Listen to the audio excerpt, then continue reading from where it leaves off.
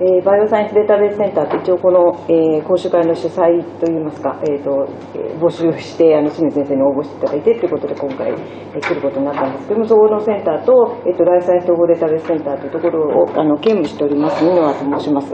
えっと、NBDC のところでは一応あの広報担当をしてるんですけど後でまたこの中でもご紹介する人データベースって今人のあの人に関するデータをあのちょっとセキュアなやり方で集めていこうというような取り組みが始まってるのでそれについても後ほどちょっとご紹介したいと思います。はい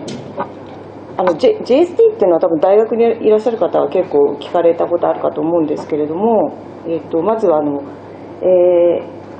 えっと、あと先ほどあのちょっと紹介していただいてこれだけ紹介しているこのもあのもっと、えっと、岩手のこのポスターなんですけど、えっとえー、講習会の今日の、えっと、資料置き場っていうのができてまして、えっと、もっと DB 岩手っていうことに検索してもらうとこういうページが出てくると思うんです。でこの一番下のえーと、プログラムっていうところにこう今日のプログラム書いてあるんですけどそこのところに、えーとここにリンクが貼られていて資料のあるものはあるっていう状態に今なってます。でもしかしたらこれからアップされるやつもあるかもしれないです、はい、とにかく最終的にはここに全部資料載りますんで、えっと、私のところにもリンクないんですけどここにもう資料は私のは上げてあります、はい、で、えー、ここういうとこありますね。ここを時折参照してください。えーと、ライフサイエンスのデータベースを統合しようという動きについてとご紹介したんでしたいんですけれども、えーと、この図はですね本日お配りしている NBTC のパンフレットってあの挟んであるあのちょっとカラフルなやつですねそれの裏にもある、えーまあ、年表みたいになっています。であと,、えーと、2006年の4月に情報システム研究機構を中核とした文科省での、えーえー、統合データベースプロジェクトっていうのが始まりまして、えーと、その後、えーそのプロジェクト自体はあのプロジェクトとして一旦終わってるんですけどもその後、えーと総合科学技術会議というちょっとあのえー、内閣府っていうところのあの、えー、組織でまたそこそれを続けていきなさいということになって今は、えーと、JST のこのバイオサイエンスデータベースセンター NBDC というところが、えーと、この事業を引き継ぐ形で、えーと、データベースとか運営しているというようなことになっています。で引き続き、えー、あのここここをやっていたのがライフサイエンス統合データベースセンターともう一個のセンターなんですけどそこは、えー、と技術開発を中心とした、お話をするということで今日はあのここに来てくれてるあの他の講師の人もですねあのみんなそのライフサイエンス統合データベースセンターというところから来ています。それで、えー、データを共有することじゃあデータ共有することってどんな意義があるかっていうことを一応あの簡単にまとめたあのレポートがあってそれは、まあ、国などの公的資金を投じて得られたデータについては、えーと、こういうようなあの観点から共有しした共有すべきであるというのがもともと欧米ではこういう考え方でどんどん進んできたわけなんですね。でで、えっと、JST が、えっと、そういう、えー、取り組みの中で一応あのや担っている役割っていうのはいくつかこう、えー、JST のミッションとしてこういったものがあるんですけれどもその中の一つに、えーと、科学技術的情報知識インフラの構築っていうのがあって、まあ、こういうところを使ってデータを共有していきましょうというような、えー、取り組みの一環として私たちの NBTC というセンターがあのできています設置されています。で、えーと、NBDC については JST の中の一つのセンターなんですけれども、もともとバイオインフォマティクスの取り組みっていうのを JST の中でもやってたので、そのセンターが、えーさらにこう発展的に、えー、名前を変えて、えー、と2011年4月に設立されています。で、生命科学分野のデータベースを使いやすくするというミッションがあのありまして、その中では、えー、とデータベースをどうやって研究開発していくかというそういう戦略の立案ですとか、まあ、データベースそのものを充実させていくという取り組み、それからデータをきちんと公開していくような仕組みを作って、さらに、えー、とデータの共有っていうのはもう今日本の中だけじゃなくて、えー欧米をあのと一緒にやっていくということなのでそういった国際連携も含めて活動をしているものです。で、えーと、NBDC の取り組みまたあのちょっと細かく言いますと、まあ、こういったミッションがあるんですけれども、えーと、その中で、えーと、やってることっていうのが、えー、と今やってることっていうのが、えっと、連邦型の統合デ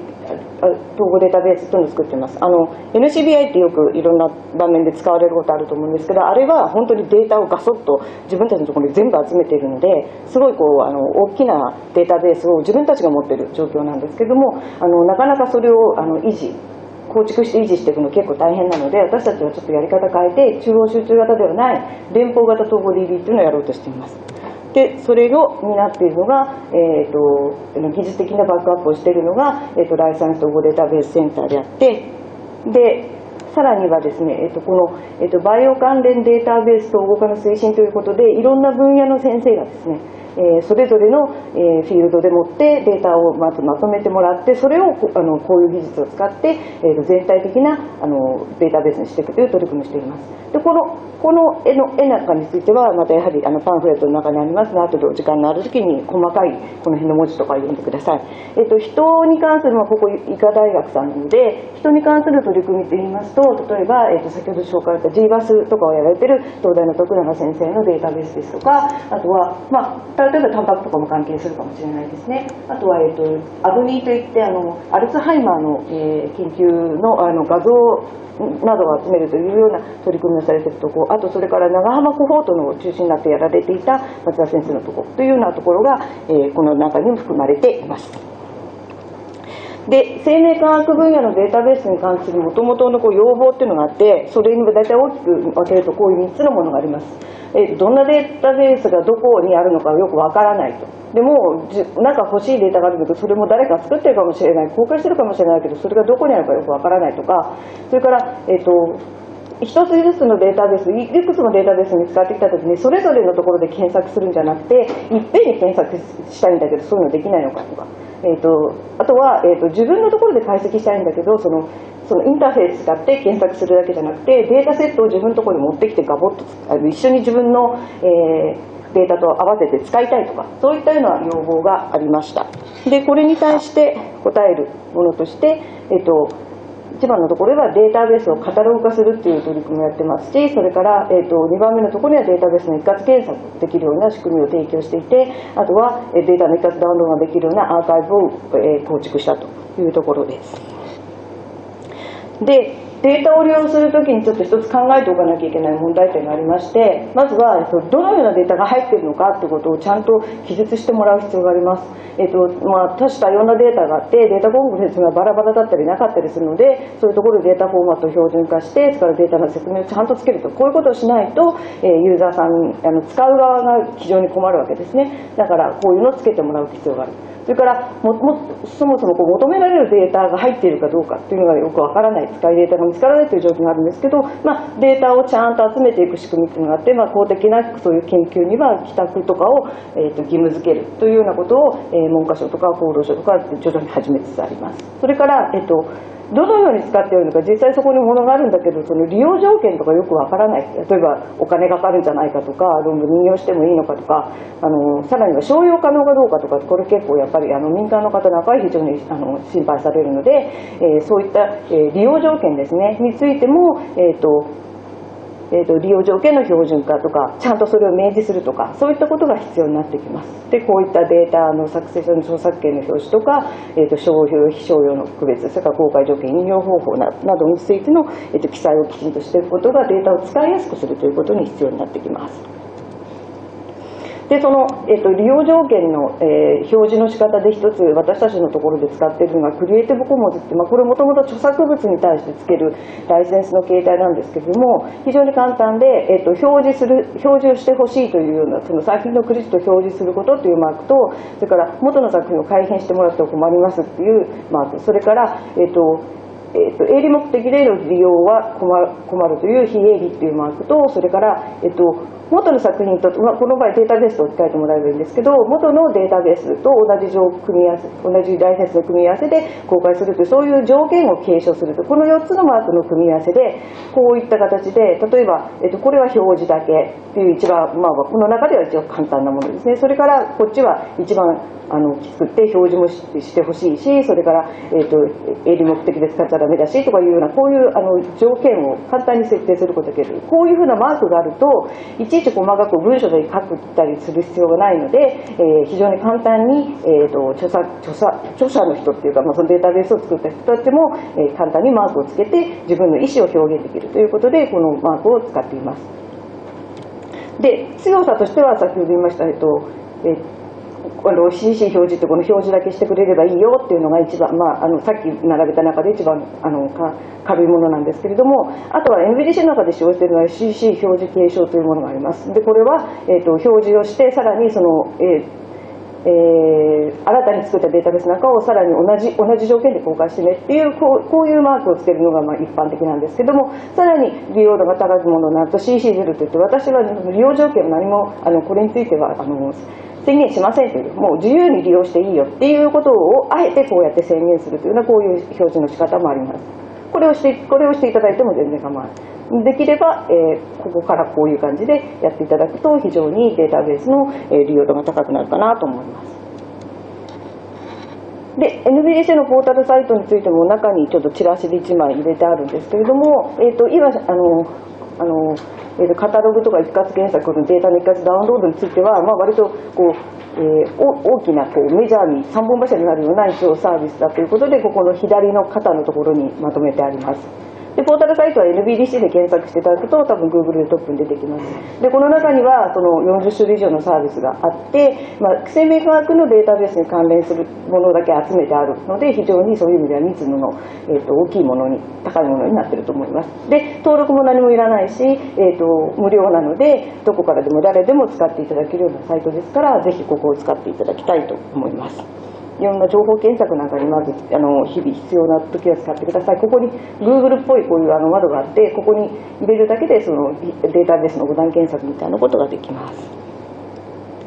で、えーと、ここからちょっと一つずつのこの今お話しした3つのサービスについてちょっとずつお話ししていきたいんですけれども、えーと、まずそのデータベースのカタログについてです。インテグバリュデータベースカタログっていうそういう、えーと名前で呼んでいますけれども、えー、国内外の生命科学系のデータベースの所在情報とか説明情報を掲載するカタログで今1300件以上もうあの搭載されています。で国内のものが結構多いんですね。っていうのは先ほども言いましたように日本の公的資金っていうか公的なプロジェクトとかそういうところで起きてきたもの公的な機関で作られたものそういうものを割と中心に集めてることもあって国内のものが多いですが、えっと、海外で発表されているものとかもインターネット上であの探せるものはなるべく搭載するようにしています。えーと、データベースそれぞれについて、えーとまあ、名前はもちろんのことをどどこにあるのかっていう URL ですねそれからどこが作ったのかとか何を対象にしてるかっていうような説明を、えー、きちんと書くようにしています。でこういった説明なんかも私たちのところで、えーと、説明を加えて、えー、そういうところに検索をかけられるようにしてるんですけれども詳しく、えー、検索がかかるようにということでやっています。でその検索ボックスがありましてキーワード検索できますしカテゴリーから探すことが、えー、絞り込んだりすることもできるようになっていますで最後にそのデータこれこのデータベースのデータベースですねこのデータベースというものが、えーと、やっぱり、えーと、それ自体を使いたいという人もいると思うので一応それも全体的にダウンロード可能にしていてこれについては CC0 っていう一番何も宣言しませんというそういう、えー、データベースになっていますで、インテグバイオデータベースのカタログの入り口、ここです。ここです。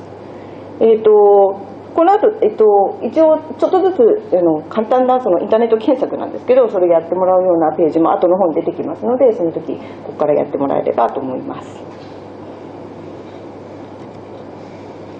で使い方なんですけれども、えー、こう3つのこういう領域からこうものがあの、えー、ページが構成されています。で一番左側は、えーと、検索と絞り込みができるようなそういう、えー、ツールが並んでますしそれから中央は、えーと、データベースの一覧ですね。こうサムネイルがあってこうイメージも湧くように必要になってます。でそれについて簡単な説明がちょっと見えるというようなものですね。それから、えーと、こちら側、えー、とダウンロードする、えー、ところとかあのになっています。でえっ、ー、と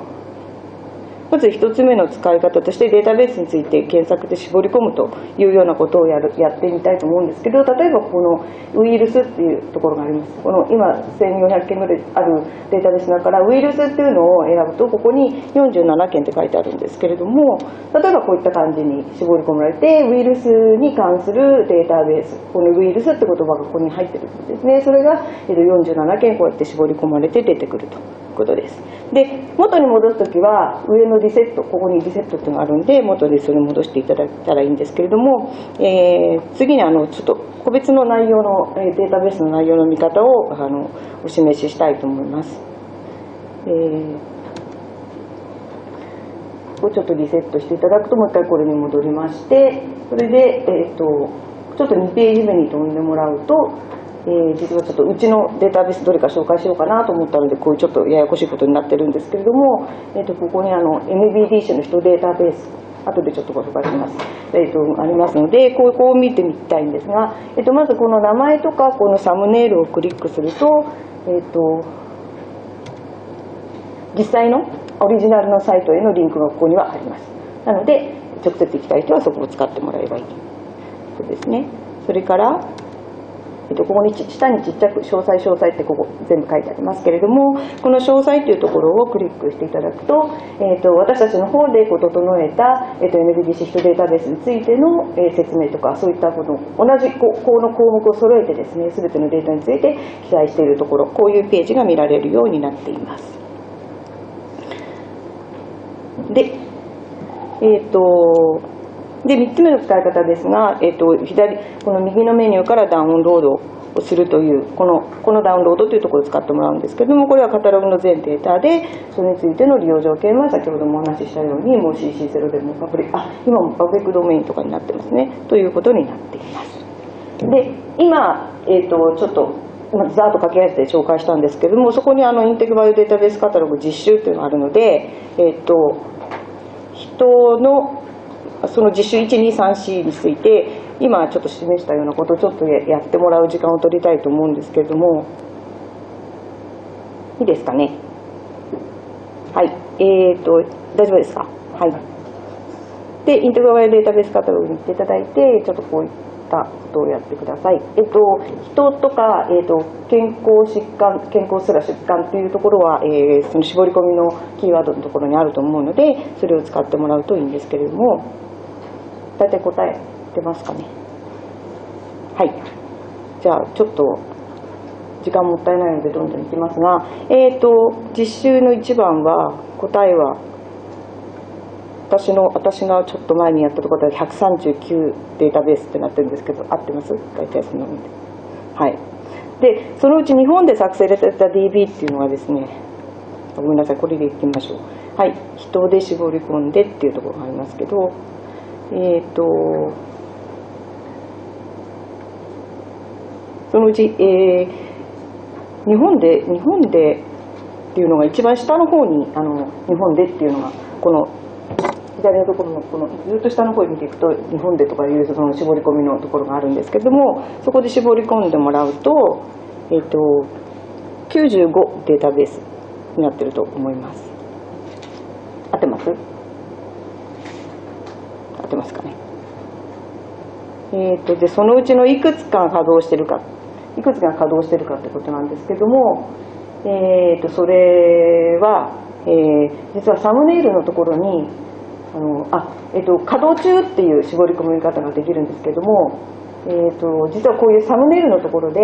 あのサイトが止まっちゃってるものなんかはちゃんと休止中とか何日以上止まってるとか出るようになってます。っていうのはあのこういうふうにデータベースがあることが分かってもそこのサイトに行ってあ使えないじゃんっていうのを非常にあの落胆するので、えーと、私たちのところではこのあのそれぞれのサイトに毎日毎日こう1回はとりあえず行ってみて本当にちゃんとこの URL できてるかなっていうのをやってるのでその情報をこう蓄積してここに休止中とかそういったあの表示もするようにしています。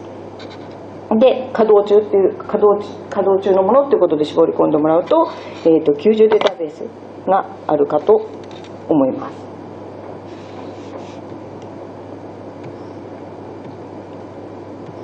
いいですかね。はい。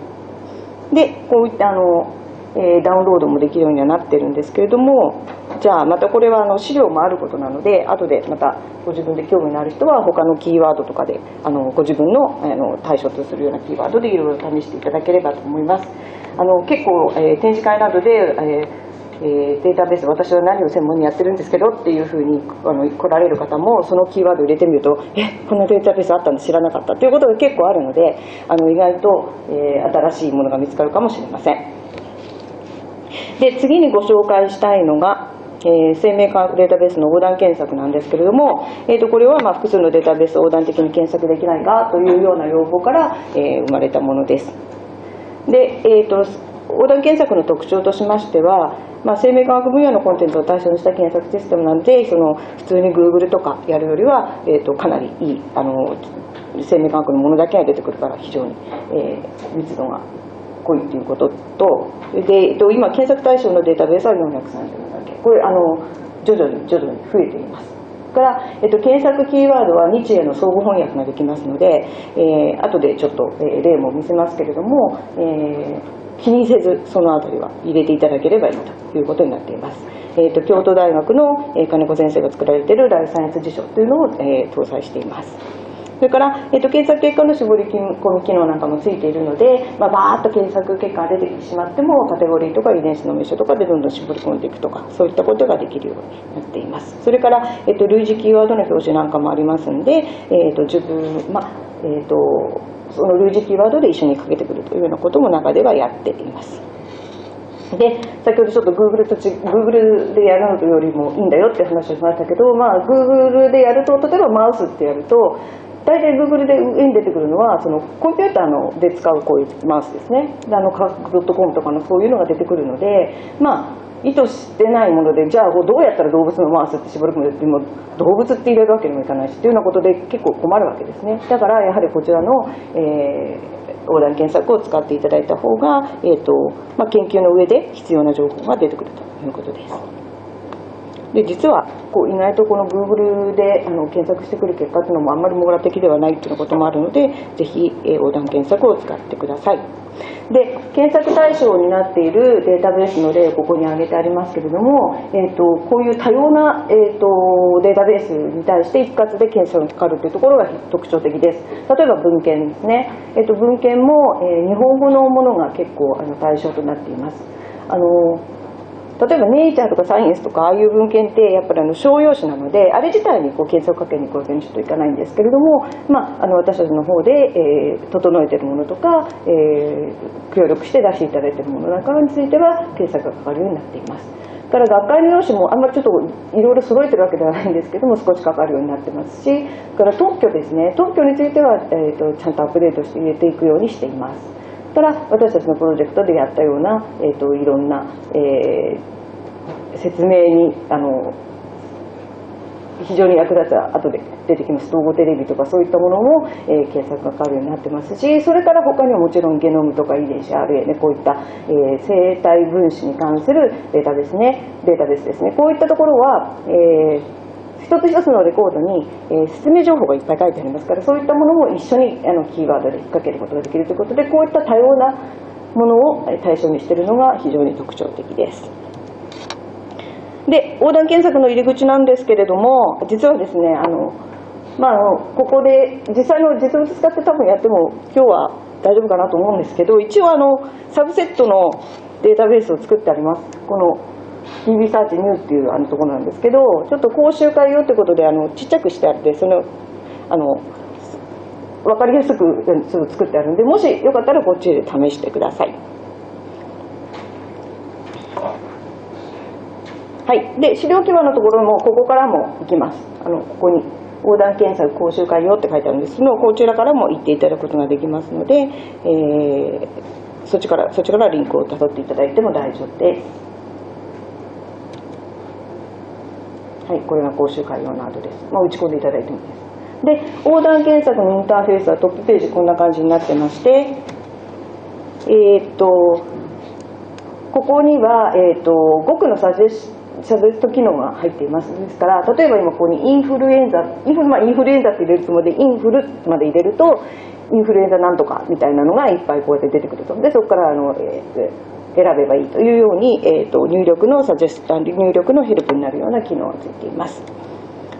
それから、えーと、ここにあの2つ選ぶようになってるんですけどもデータベースかヒット件数かとりあえずどのぐらいヒットするのか見たいっていう件数だけ見るようなボタンもあるんですけどデフォルトはデータベースに多分なってると思うのでそうするとデータベースの中の実際に検索にかかる、えーと、記事の一覧があの Google の検索みたいにわーっと出てくるというような形になっています。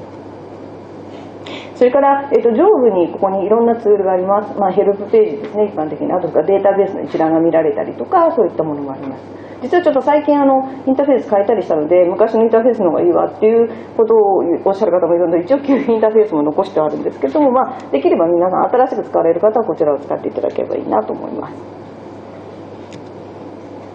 でえー、横断検索の検索結果のヒットケースのページはこんな感じで出て、えーと、例えば、えー、文献では、えー、今インフルエンザって検索した時に、えー、文献では5679件ヒットしましたって、まあ、こういうまずヒットどれぐらいヒットしたかということが分かるようなページが出てきます。でここに、えーと、ナビゲーションバーっていうのがあるんですけども、まあ、ここあの本当はあの絞り込み機能とかあるんですけどこれヒット検索のあヒット検索の検索画面ではちょっと絞り込み機能がないので後でまたもう一個の方でお示ししたいと思います。でここはデータベースのカテゴリーの一覧で、まあ、左右2段階であの表示するようになってましてでここのプラスをあの押していただくとこの中のカテゴリーがまたさらに細分化されて、えー、見られるようになっています。でさらにまたまたさらにサブカテゴリーも展開することができるというような感じで、えっとまあ、絞り込んで見ていくこともできるようにはなっています。でこの辺、えー、こういうところですねこういうあの該当するようなところをクリックしていただくとヒットした検索内容がちゃんと表示されるというふうになってまして、えー、それは次のスライドでお示しますけれどもあともう一つちょっと言っておきたいのはここに「愛」っていう、ま、インフォメーションの、えマークですけどこれがあるので、えここにマウスオーバーするとこれがどういったものかということが、えーと、よく知らないものでもこうやって説明を読むことができると。いうふうになっています。で検索結果のページがこういった形になります。もう本当に記事そのものがこうバーッと出てくる感じですけれども。えーとここに、えーと、ヒット数がやはりまた出てましてえーと検索結果のこれスニペットっていうんですけどここに表示されていてでここにあるのがまたさまざまなツールボックスがありまして例えば関連遺伝子ですとか極の思想ラスとか、えーとまあ、外部へのリンクなんかもここに全部集めてあります。でここに、えー、先ほどちょっと絞り機能がなかったのがあるんですけどこのナビゲーションバーのところに今回はこのこういう一覧を示すような時には、えーと、絞り込み機能があるのでそれを次のページで示すと,、えーと例えばこのこういう感じに、えーと、絞り込めるように、えー、この中のどれっていうふうに選べるようになっていてでそれを選んでみると例えばこういうふうに、えーと、全てのデータベースの中の統合データベースプロジェクトの、えー、成果として公開されている情報の中にインテグバイオデータベースカタログの中ではこれインフルエンザっていうのは一番トップに出てくるのはこれ4ヒットあるんですけど一番トップに出てくるのはこれだというようなことが示されます。でここで今ハイライトされてるの見てわかると思うんですけれどもインフルエンザってカタカナで入れたんですがこっちのインフルエンザですね。つづりのあの英語のつづりの方こちらでも一緒一緒にかかってると。ヒットしたところがかかってるということになります。でこちらにある情報はデータベースエントリー名ですのデータそのデータベースの名称それからがあればサムネイルを示したりしてこうあのあとはどういうところに検索したかとか URL というさまざまな情報がここにあります。ここからいろいろたどれるようになっています。で今回はその講習用にあの作ったページがあるのでそこからちょっとあのやってもらいたいんですけど今お示ししたインフルエンザっていうのであ、まあ、他のでもいいです。何でもいいです。ご自分のご興味のあるようなものをちょっとこの5678の順番でちょっとやってみてください。今ちょっとだけ時間を取りたいと思います。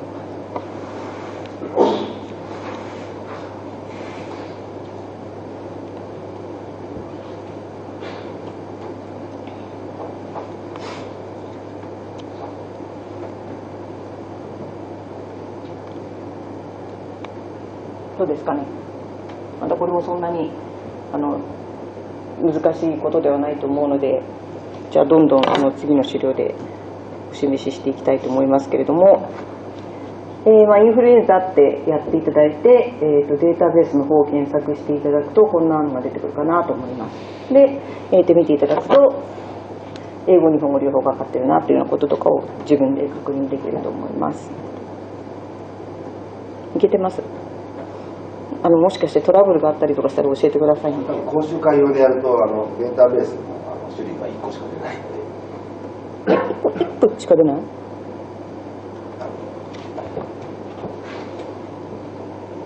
作業の方の URL でやると、うん。1個しか出なかった。すべてのデータベースっていう出ます。出てない？公衆鍵用っていうあそうですね。あ、ごめんなさい。そ、それはそうですね。ここの、ここのとこですよね。講習会用としか出ない。だからさっきの見せたように出ない。じゃあ、あの、本本番で、本番でやってもらっても全然構わない。時間がかかります。そうですね。うん。ちょっと時間がかかったり、あの、前なんかね、100人ぐらいでいっぺんにバッてやったら、あの、落ちちゃったことがあったので、あの、今日は平日だから担当の人も、あの、スタンバっててくれてるから大丈夫だと思うんですけれども、まあ、後からでもちょっとやっていただければいいので、まあ、こんな風にできるよってことを見ていただければと思います。はい。それで、えー、とこういうふうに絞り込みができるようになってるんですが、はい、全部そこの資料にあるのでで外部サービスを使った検索ということで、えーそこの、えー、と下の方かな？にあると思うんですけれども、はい、外部リンクっていうの下の方にあるかと思うんですけどもそこの、えーここに J グローバルっていうこれもやはりちょっと JST のサービスで恐縮なんですけれどもこういうところにリンクをしていただくと、えー別のところへ飛んでいけるというふうになっています。じゃあ次に引き続きですね別のキーワードで SOX2 というのをやっていただくと,、えー、とこれも、えーやはり検索結果としてはこういう感じで、えー、SOX2 っていうのが、えー引っかかるようになっています。それでえっ、とでここですね。ここのこっちの、えー、と右側にある、えーこの別の名称のここところをあの管理遺伝子ということであの、えー選択していただくと,、えー、とこういう感じで出てくるんですけれどもここのゲノムネットワークプラットフォームのあの、えーデータのところを選択していただくと実際に今度はゲノムネットワークプラットフォームの、えーところでの、えーデータベースのけんあの結果というのが直接出るようになっているというのが実習の7と8のつながりでした。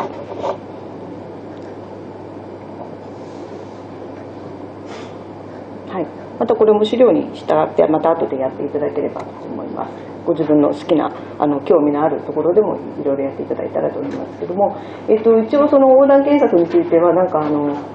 やはりあのモバイルだろうということで 何かあの担当の人がですね一生懸命この、えー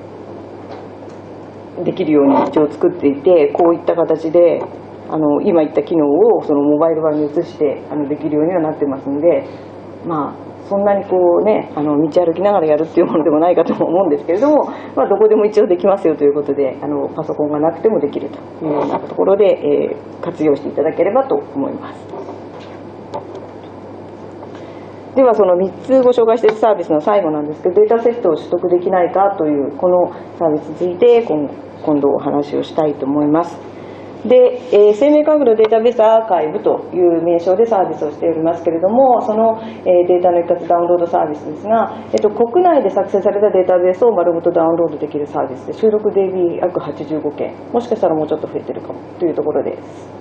で、えー、と CSV とか、えー、と RDF 形式というちょっとそのデータベースの書き方なんですけどこれでデータをダウンロードすることが可能になっていて、えー、とデータベースやデータについての説明こういうのをメタデータっていうんですけどもそういうのがきちんとついているというところが重要なところです。でデータは、えー、と CC ライセンスで配布なんですけどこのデータに関してはそれぞれ提供してくださった先生ごとに、えー一応あのまあ、お聞きして、えー、と基本的には CC の表示継承というライセンスであの統一するようにしています。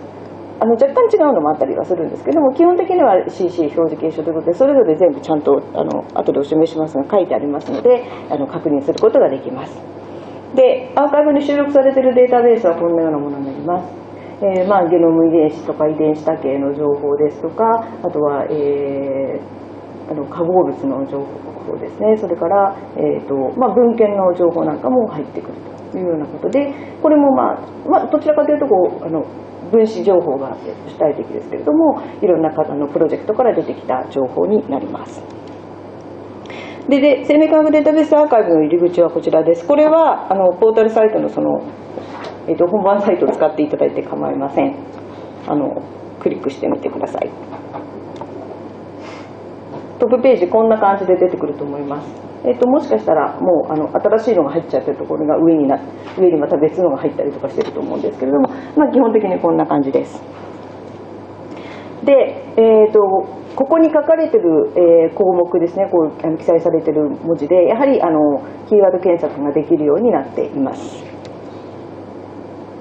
で、えーと、今ここから、えーと、実習って一応書いたんですけどこれ結構分かりにくいのでもうあの、えー、お見せしながらちょっと順々にあのできる方はどんどん自分でやっていただいて構わないんですけれどもあのちょっとやって進めていきますがあのですね画像のデータのダウンロードをできるっていうふうにあの書いてあるんですけどそこをあの皆さんが一斉にバッてやると非常にあの負荷がかかっちゃって大変なのでこれをやりたい方は後でやってください。あのちゃんとあのスライドにも書いてあるんですけれども、えー、ダウンロードとかフルサイズビューっていうのをやるのはちょっと後でやってください。で利用するデータベースを OpenTG ゲイツというあの独製のデータベースですね。独製のデータベースあ独製独製用で170の化合物をラット個体をベラットヒト幹細胞の、えー、で実験をした遺伝子発現と独製のデータベースになります。これは、えっと、医薬基盤研さんというところで作ったものです。はい、じゃあその次のスライドに進んでどんどん進めていきますけれどもまず一覧内の検索と OpenTG ゲイツっていうふうにやっていただくと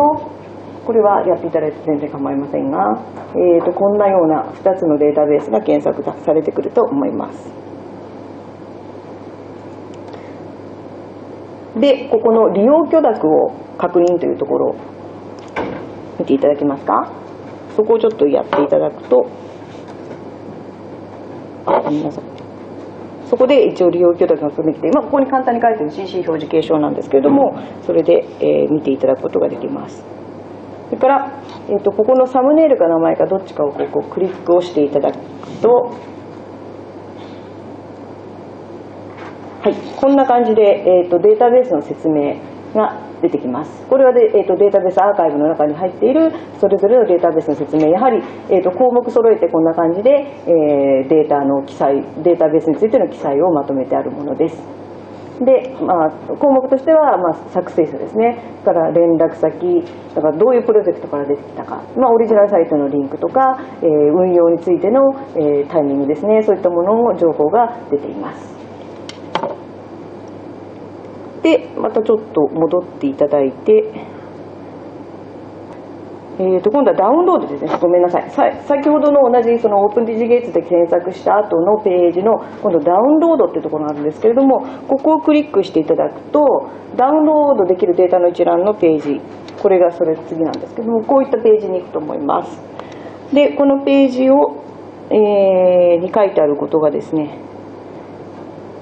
はい、えーと、例えば ZIP 形式で丸ごとダウンロードできるようなリンクデータファイルですね。それから、えーと、データを眺めてからダウンロード可能。だからデータの中を、えーと、見てこれが本当に自分に役立つデータかとかいうことを見ながら、えー、ダウンロードする。っていうのもですね。それができますが今日はここの一番下の検索ダウンロードをちょっとクリックしてください。一番下の料理情報のところですね。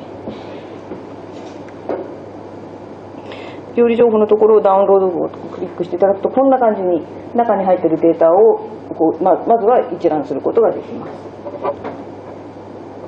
で中にいろいろ書いてあることはですねえっ、ー、とえっ、ー、とここに、えー、とまずそのハイパートロフィーっていうふうにちょっと入れていただくと、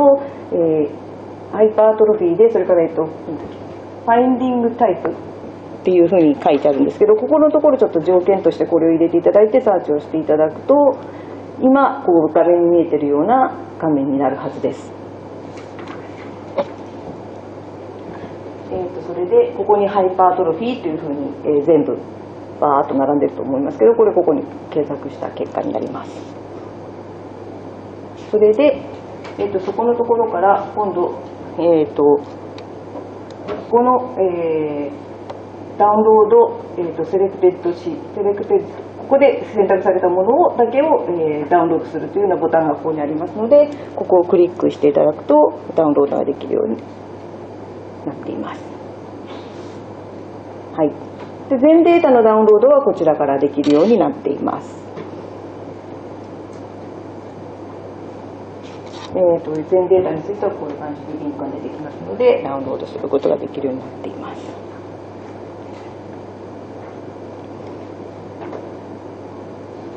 はい、いいでしょうか。すいません。で、えっ、と、さらにじゃあ、そういうダウンロードの先に行っていただくとですね、えー、と今度は実習の10番というところに入っていくんですけれども今度画像の情報が出てきてるのでここのページを見てください。えー、とこれをここですねここのところをちょっとクリックすると あの大変なことなので後でやってくださいであとそれから、えっと、ダウンロードの画像を見るには専用ソフトが必要なのでそれはちょっとまた別に、え後でインストールしていただく必要があるかと思いますでサムネイルをクリックすると拡大しますそういったところまではちょっとやっていただいても大丈夫だと思います。で、えーと、このデータベースアーカイブについては、まあ、いくつかあのその他の機能ということいくつかあるんですけれども例えばデータベースを代表するテーブルの検索ページはここからもいけるというような会員検索っていう、えー、リンクが貼られています。であとデータベースアーカイブって、まあ、ちょっと気になるのがみんなどんなデータをあの利用してるのかなということが、えーまあ、私たちも気になりますしそれからあの使う側もなんか結構気になるらしくてこういった利用状況についてもあの出してよっていう話があったので、えー、と最近あの出すようになってるんですけれども、まあ、ダウンロードの多かったアーカイブっていうのはこういうのですよということで今ご紹介していたオープン TG ゲーツですね。これやはりあの非常に大きな、えー、プロジェクトだったこともあって皆さんの関心が非常に高くって、えー、よくあの見られているダウンロードされているというようなデータベースになります。はい、で、えっと、データの受け入れですね、あのこれなんかぜひ宣伝してくれと担当の人から言われてるんですけれども、えーと、データセットについて私たちいつでもあの受け付けておりますので、えー、データを共有することは非常に容易なのであのぜひこのアーカイブというサービスを使って皆さんが出したデータもう自分は使わないからみんなに使ってもらおうかなと思っていただいたらですねそれをこちらにご連絡いただけるとありがたいなということでこれはアーカイブの宣伝でした。まあ、データを長期的に安定的に管理することができますので、万が一例えば皆さんのところのサーバーで、えー、とデータが維持できなくなっているというそういう場合でも私たちのところはあのずっとキープしておきますので、ぜひ一度ご検討いただければと思います。で、最後にじゃあこの、まあ、同じようにアーカイブのサービスの一つではあるんですけれどもちょっと今度は人の、えー、人に関する、え、情報をアーカイブするサービスというのをまた別に立ち上げてますのでそれについてご紹介したいと思います。えーとまあ、アクセス制限が人に関するデータについてはあの個人情報ではないんですけれども匿名化していれば個人情報ではないんですけれども個人につながる可能性があるということで、まあ、そういうアクセス制限に必要な人に関するデータを収集公開する仕組みとして NBDC の人データベースというサービスをちょうどあの1年ちょっと前ぐらいから開始しました。で、NBDC の人データベースの入り口は先ほどの3つのサービスのすぐ真下、ここになります。えっと、NBDC の人データベース、えっと、基本的な方針としては人に関するあらゆるデータが対象です、えーまあ、配列情報とかが今のところ多いんですけれども例えば画像の情報とか、えー、それから、えーと、コホこちらでもやられているコホートですね。メディカルメガバンクさんのコホート情報とかもできれば入れてほしいなとは思うんですけれどもなかなかあのいろいろあの提供するときの条件なんかがあるので今はまだという状況です。でただし重要なのが匿名化された情報のみです。私たちのところでお預かりするのは、えー、匿名化必ずしていただいて、えー、絶対個人で結びつかないようにしていただきたいということで、えーと、さらにその後その継続的にあのえ資料を提供していただいた方たちの情報だの、えー、とデータだのを取るような必要がある場合は例えばここの岩手医科大学の 東北メディカルメガバンクの、え、ところと共同研究を結んでもらうとそこまでやっぱり必要な場合はそういうふうにしていただくということ必要があると思います。で、えー、ただここのデータベースに入れていただいた限りのものはですねデータ提あの利用とかに関する審査がやっぱり必要なんですけどもそれは NBDC が実施しますので提供者の方に、えー、煩雑なその、えー、審査業務とかそういったものをやっていただかなくても大丈夫ということになります。から、えー、指針はああのえっと、昨年ですかゲノム指針というものが変更されたりとかしてるんですけれどもあとそれからそういう例えば例えばゲノム情報なんかを、え、共有していくことについていろんな社会的な理解が進んでる進みつつあるというかそういったこともありますので、えっと、ガイドラインとか私たち整えて皆さんにこういうルールでやってくださいということをあの示してるんですけどもそれについても、え、柔軟に対応をしていきたいというふうに思っています。で、NBD シートデータベースに格納されているデータの種類はこういったものになります。オープンというデータの種類は、ウェブサイトからあのもう制限なく公開されるもの、例えば集団の統計値とか個人に行き着くものでは基本的にないと考えられるので、そういったものですとか、あとは特定の個人由来でないような資料の解析結果、えーと例えばあの市販されている細胞株に関する、えー、データとかそういったものはオープンデータでいいのではないかというふうに私たちはカテゴリー分けしています。ただ制限公開データはやはり、えーと、LBDC のところで審査をすることで、えーと、利用可能になるものなんですけど、まあ、これは個人レベルの情報ですね誰か1人の NGS データの、えー、生データに近いものとかそういったものがここに入ってくることになります。あとは、えーと、データを提供していただく側の一つメリットとしては、まあ、あの論文とか出されるまでには、えー、公開を待機するというようなこともやってますので、えー、それをあの論文例えばあの今一番 あの個別のデータで登録されるのが多いのは私たちのころ ID を発行することが ID を発行しますので論文で公開するときにそのデータの帰宅先として私たちのところを選んでいただいて、えーと、ID を論文に掲載するというようなことでその場合は、えー、論文公開までちょっと待ってねということで公開待機データとして中に持ってはいますが公開しないというような扱いにしています。あとは、まあ、匿名化されてないものは申し訳ないんですけど預かれないのでそれは各プロジェクトで保管していただきたいというお願いをしています。でデータ共有の仕組みとしては NBDC の中に、えーと、データ共有分科会というこういうガイドラインを決めるそういったあの分科会を持ってましてそれが、えーと共有する時のガイドライン提供したり利用したりする時のルールですね。それからあとはあのセキュリティのレベルどういうふうに保ったらいいかというようなことをまあ、ある程度具体的に書いたようなセキュリティガイドライン。この2つをあの作っています。でこの2つのガイドラインに基づいて今度は人データ審査委員会というところがあってここは外部の有識者含む審査機関なんですけれどもそれが独立な形で、えー、例えば提供の申請があった時にそれがこのガイドラインに合致してるかというようなことを審査するという仕組みになっています。で例えば提供者が言って申請しますこちらで申請して審査をしますがそれで承認がされるされる、えーことにはですね例えばインフォームドコンセントとか倫理審査でこうデータの共有ということがちゃんと書かれていることが必要になってきています。で1回承認されまして、えーと、データを送付していただくんですけれどもその時にはメタ情報やはりデータデータについての説明情報ですね。その情報をちゃんと書いていただく必要があって利用者が利用しやすいような情報をつけていただくということが必要です。から一応再度匿名化して入れてくださいということで、えー、完全に個人とは切り離した形でこの中にはあのあの格納されるということになっています。でデータの提供をしていただくときに例えばその、えーと、先ほどお見せしたオープンとか制限とかこういった種別ですね。といったものとかそれからデータをいつ公開していいかとかそれからデータ利用時にもし万が一なんか制限事項があるんだったらそれについても、えーと、一応協議して、えー、このデータの公開の時に表示するようにします。例えば、えーと、一番多くあるのが、えーと、インフォームドコンセントで、えーと、患者様とかから、えー、と資料をいただく時に例えばがん患者の、えー、方に、えー、これはがんの研究でしか使えませんっていうような形でインフォームドコンセント取られてる場合があるんですねでその場合は、えー、と利用申請があったときにそれががんに関する研究かどうかというところを一応ポイントとしてチェックします。でそういった制限事項があることをデータベースを公開する場所で、えー、きちんと述べるようにしています。えーと、そうで私たちのとこから先ほど言いました。ID を付与することができますねこれ論文なんかに使っていただくと。一応これが提供側の流れです。で今度は利用者の方なんですけど利用者はやはり同じようにこの人データ審査委員会のところに申請を出していただいて、まあ、それこういうデータを使いますよということをちゃんと,、えーと、倫理審査しておいていただくと、まあ、基本的に承認されます。でえーと、こちらの制限公開のデータにアクセスするんですけれども、えーと、こちらの方にはですね利用状況をちゃんと報告していただくという義務があ発生します。でこれは年1回および、まあ、終了時には最終報告みたいな形で出していただくのとあと最、えーとデータを破棄していただくとかそういったところのリポートが必要になってきます。えー、で、まあ、制限公開データあのオープンはもうオープンなのであのどんどん、えー、ウェブ上からダウンロードできる状態になってるからそれほど、まああの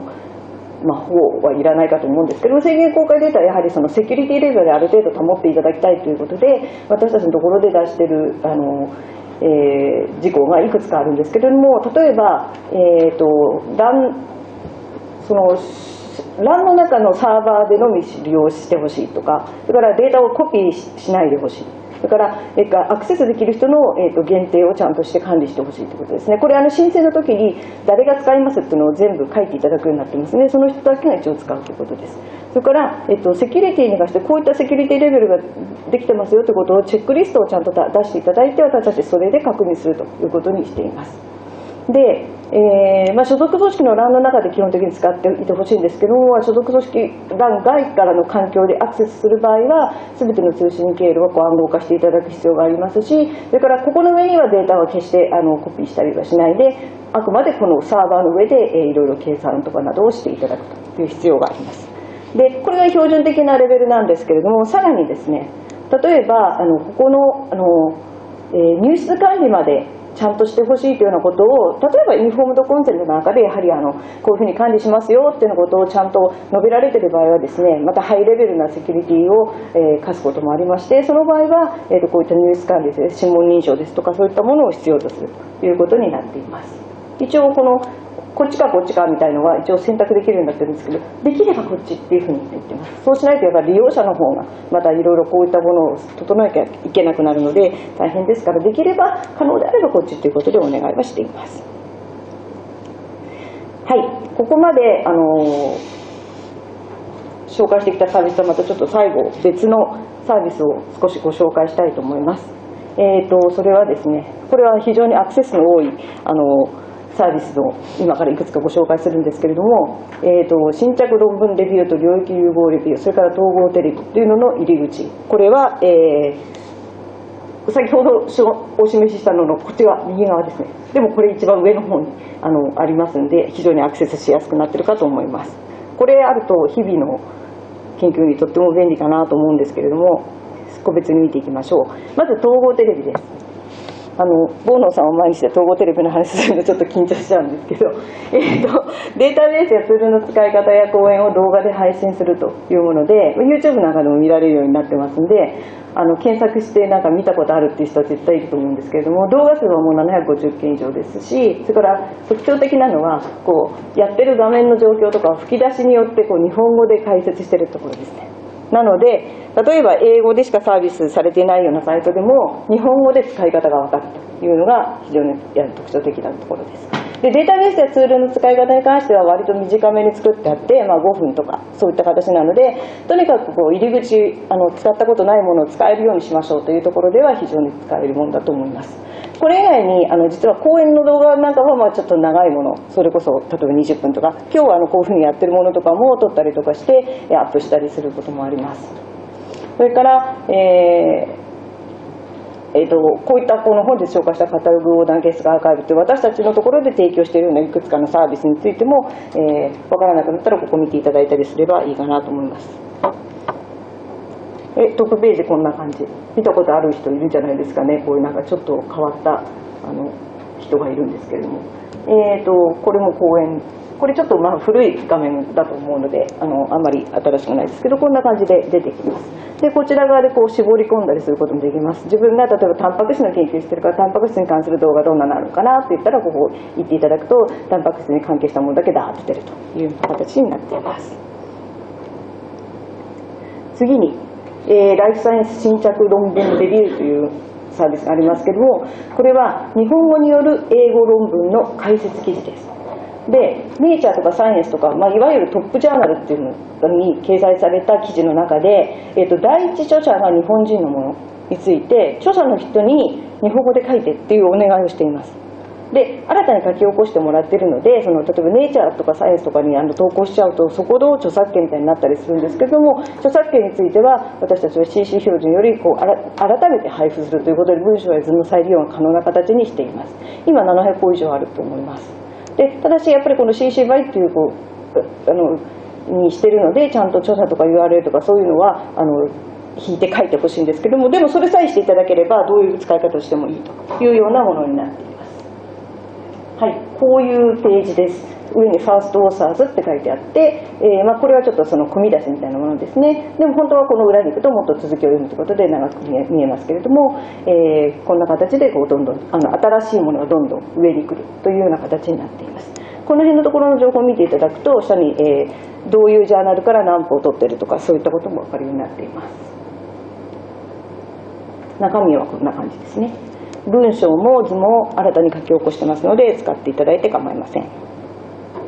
でそれと兄弟分のライフサイエンス領域融合レビューというのがありますけれどもこれは今のはトップジャーナルに日本人がファーストオーサーで書いたものっていうあのいう条件で、えー、日々探してそれをお願いしているという状況なんですけどもこれはある特定の学問分野とか領域を対象にした日本語でやはり日本語で書かれたレビューで、えー、例えば分子生物学会とかタンパク質学会細胞生物学会というようなところに協力をお願いしてこういう分野について、えー、書いていただける先生を紹介してくださいということをお願いして書いていただくということになっています。でちょっと大きめのある意味ちょっと長めのしっかりしたレビューなのでまだそんなにそのポンポンポンポン出てくるという形ではなくて現在36本ぐらいですけどこれもまあ中身を見ていただければどんなところが書かれているのかなということでもしかしたらお役に立つようなものがあるかもしれません。新しくそういうことを始めようという時にやはりこういうレビューが非常に役立つのであのなんかの折にあの利用していただければと思います。でこれも同じように CC 表示 CC 表示というところに、えー、つけてありますので文章や図の再利用は可能です。クレジットを表記した上で使っていただきたいと思います。ページはこんな感じ。こっちはリーディングオーサーズという名前で、えー、英語名ではやっています。例えばオートファジーと疾患ということで結構その、えー医学系のことにも関係したようなレビューも出てきています。は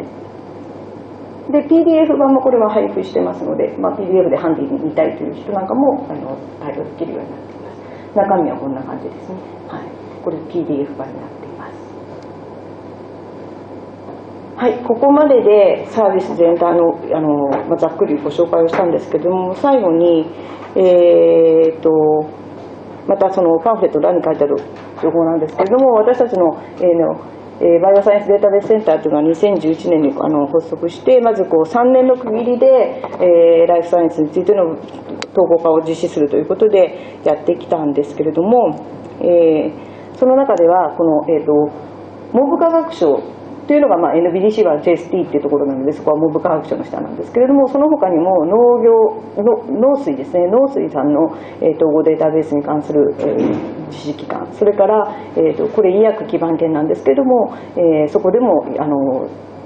厚労省関係のデータベースをまとめるという作業をされてますのでそういうところ。それからこれは経産省なんですね。ちょっと経産省に関してはちょっと最近あのだんだんこう尻すぼみになってきちゃってちょっとあれかなっていうところがあるんですけどでもあのこのメタルズっていうデータベースきちんとあのたくさんの情報が載った状態で生きてますのでこういったデータベースを合わせてあの4章で連携してやっていきましょうということで生命科学の日本における生命科学のいろんなプロジェクトをやってるところをまあ大体俯瞰できてるかなっていうところで、えー、一緒にやっていきましょうということを進めています。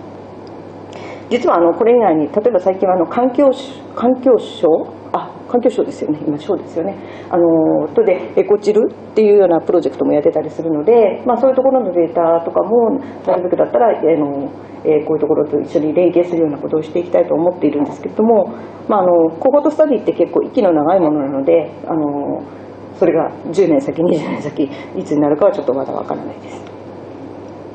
で生命科学分野のデータベース統合って今、まあ、私たちがこう考えてるのは第1段階第2段階って、まあ、ちょっとちょっと区切ってるんですけどもそれについてはこういったサービスで例えばあのえカタログ連携とか横断検索連携アーカイブ連携ということで、え4社で連携を進めてきていましたけれどもあの今ではそういうデータの在り方とか大体分かってきてどんなものがあるかっていう大体全体像が見えてきた状態で本当はデータベースの再構築していくっていうようなフェーズに今のところ入っています。え4章によるデータですと5はそれぞれこんなサイトで、え文科省の推奨、え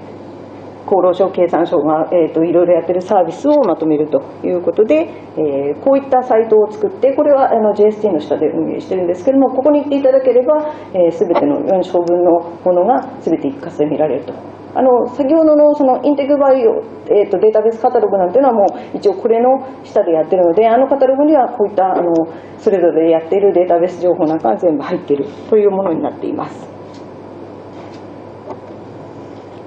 はい